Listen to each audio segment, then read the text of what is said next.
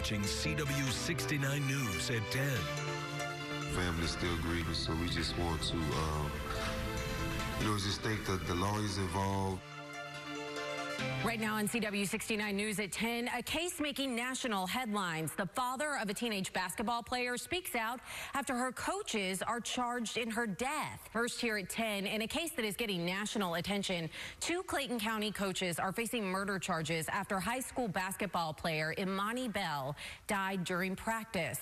Her family's attorneys say it could uh, set a precedent for how future cases like this are handled. Our Valencia Jones reports.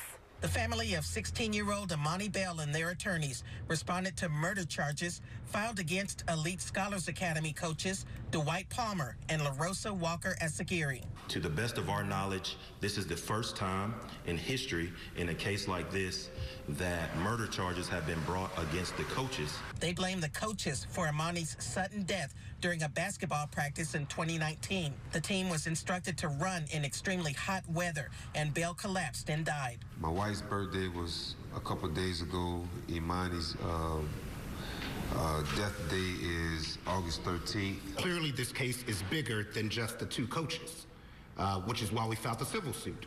We are trying to hold the entire school accountable. They filed the civil suit earlier this year. Asekere's attorney declined to comment on the murder charges. His response to the civil case indicates it was her first day as coach and she was counting on the direction of the athletic director. The public defender's office representing Palmer referred me to their state office, where I was unable to reach anyone for comment. Attorneys say the case could make schools around the country rethink their practicing procedures. You have coaches who want to win more then take care of these children. Family still grieving, so we just want to, um, you know, just thank the, the lawyers involved, Clay County involved, and just thank the love and support from all around the nation. Imani Bell's name will now stand for change in sports across this country.